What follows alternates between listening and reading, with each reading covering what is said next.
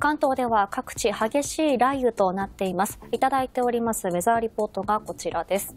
東京都葛飾区からは大粒で横殴りの雷雨、突然激しさを増した強雨と雷鳴ですということです。激しく降っている様子がわかります。続いては東京都足立区からのご報告。雷雨、5レベルの雨が降っています。雷怖いということで、発達した積乱雲の下で各地落雷も多発している状況です。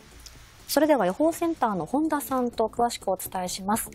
本田さん、この関東の雨はいつまで警戒が必要になりそうでしょうか？はい、えー、今ですね、東京都心方面など雨のピークということになりまして、はい、この後夜回りの方見えてきそうです、はい、えただ今夜についてはもう一度雨の降り出しというのもありそうですね。え詳しく現在の状況、え関東方面見てみますと、えご覧のようにゴーという強い雨のご報告、え東京、埼玉、栃木、この辺りからいただいているような状況になっております。え今日については、この雨雲の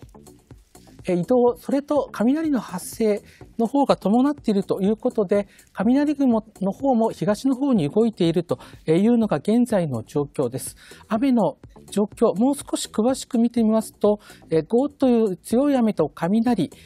こちらについては、23区内の方、全域の方にほぼ広がりまして、荒川を越え、江戸川を越え、そろそろ千葉方面に広がってきているという状況。はい、また、利根川の北側、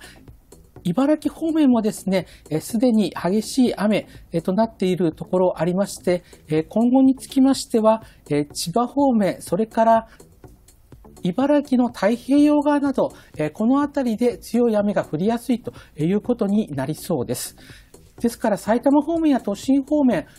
この後こう少し雨の降り方としては収まってくるわけなんですけども、はい、まだこう、西の方からですね、新たな雲の発達などあるような形、え今夜の場合は雨収まっても夜遅くにもう一度強い雨の降り出しというのが発生する恐れがありますので、ご注意いただければと思います。はい、わかりました。今後も最新の気象情報をご確認ください。詳しい情報はアプリウェザーニュースからもご覧いただけます。